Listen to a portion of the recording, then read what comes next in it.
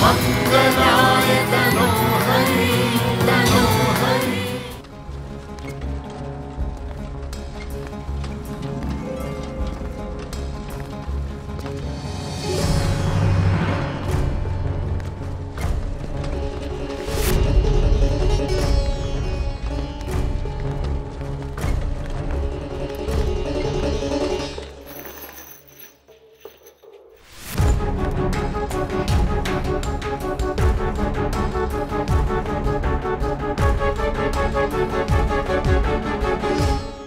ध्यान से ले जाए इसे।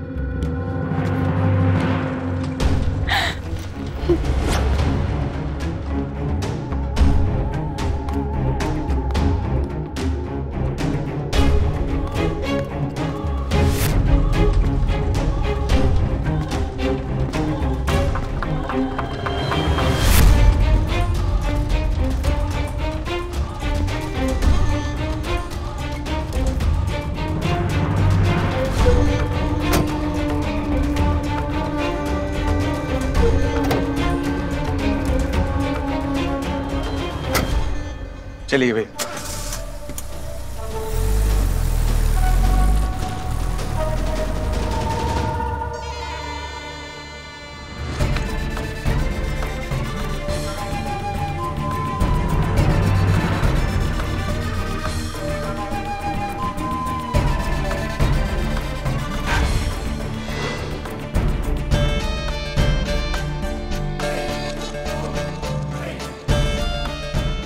काजल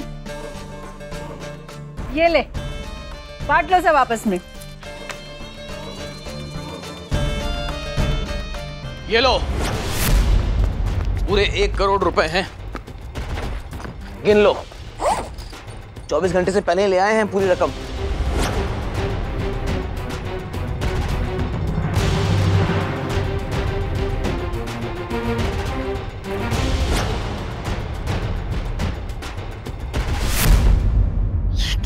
दिया मैंने। वो जुगनू का बच्चा। माफ़ कीजिएगा शेख साहब। आपने आने में बस थोड़ी सी देर कर दी। वो जुगनू लेके चले गया कुमुद को।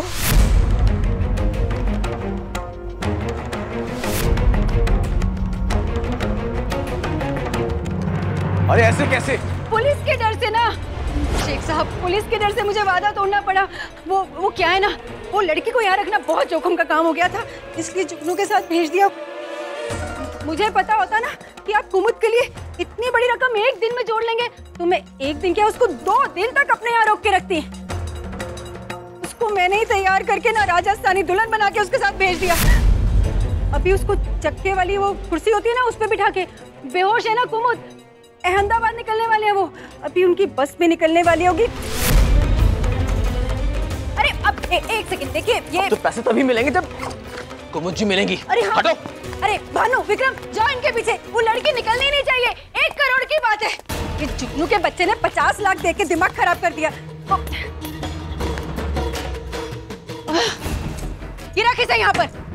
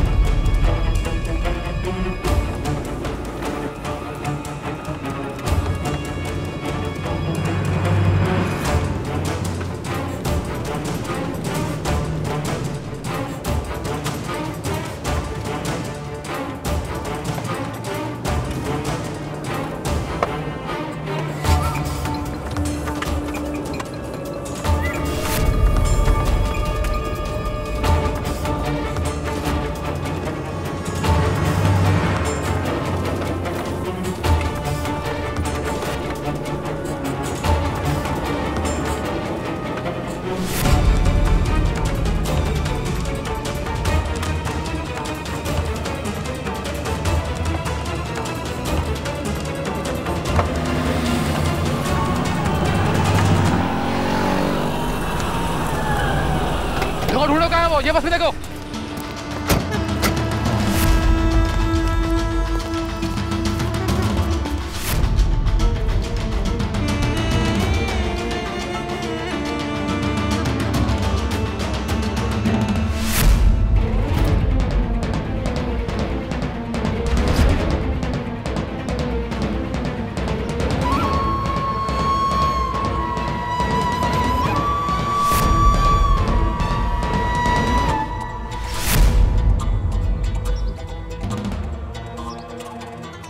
में देखो बदतमीज।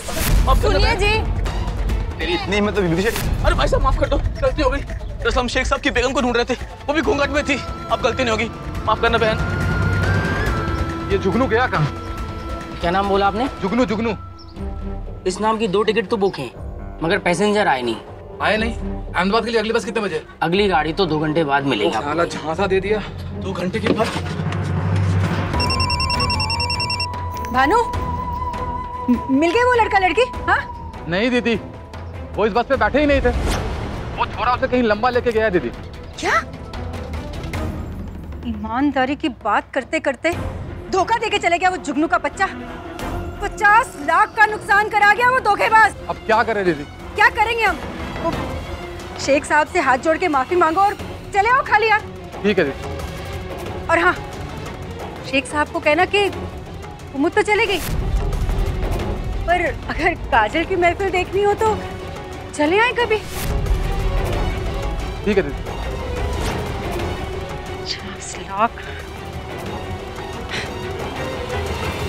माफ़ कीजिएगा शेख साहब। हमने उसे बहुत ढूँढने की कोशिश लेकिन पता नहीं वो उसे कहाँ लेकर चला गया। ए अब तुम लोग कहाँ जा रहे हो हाँ? तुम्हारी वजह से वो जुगनू कुमुद जी को ले गया। अब तुम ही बताओगे कहाँ गया वो। मुझे क्या बोलो। शेख साहब आप क्यों अपने खून जला रहे हैं उस औरत के लिए? वो आपकी बीबी थी क्या? अरे शेख साहब कुमुद ना सही काजल ही सही। चलिए काजल की महफिल में।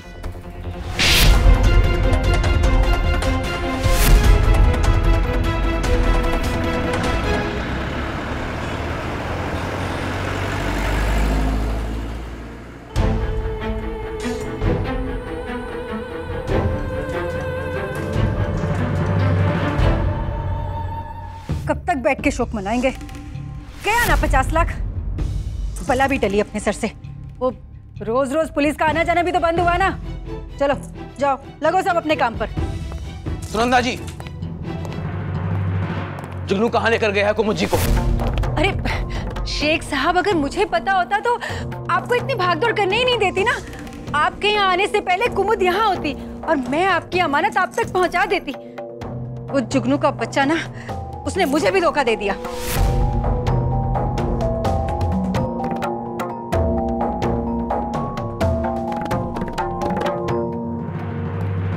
कहीं इसमें भी तुम्हारी कोई चाल तो नहीं? क्या? मज़ाक कर रहे पचास लाख में मैं उसे लड़की दे दूँगी और एक करोड़ को ठोकर मारूँगी। शेख साहब, मैं सबको दगा दे सकती हूँ, पर पैसे को कभी दगा नहीं देती मैं।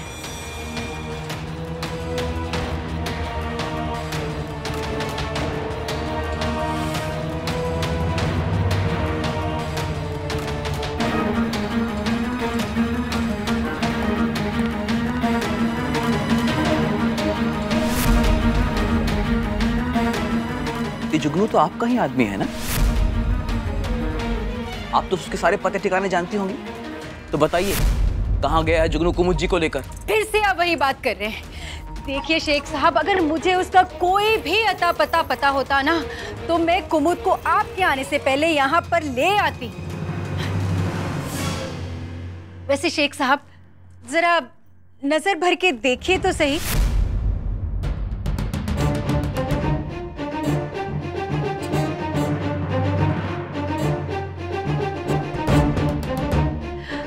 सुनंदा के यहाँ ना हीरो की खान है। शायद किसी और हीरे की चमक आपको भा जाए। ओफो आपको समझाने का कोई फ़ायदा नहीं है। आप नहीं जानती कि हमारे शेख साहब के लिए कुमुद जी क्या है। हमारे शेख साहब कुमुद जी के सिवा किसी और लड़की की शक्ल दिखना ही पसंद नहीं करते। जी आप यही हाल उस जुगनू के बच्चे का भी है। इसीलिए तो कह रही हूँ शेख साहब वो आपके हाथ में कुमुद को कभी नहीं लगने देगा। अ, अ, इसे भी नहीं पता। तो फिर कहा ले गया होगा वो कुमत को?